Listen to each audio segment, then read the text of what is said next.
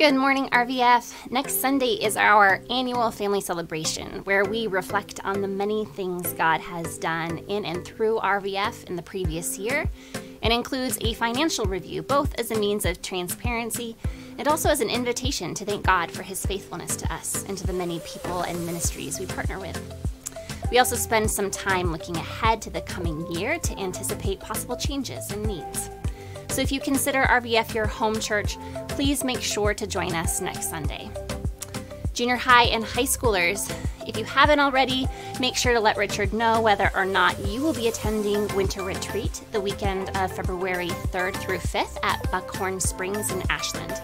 The cost for that is $125 per student.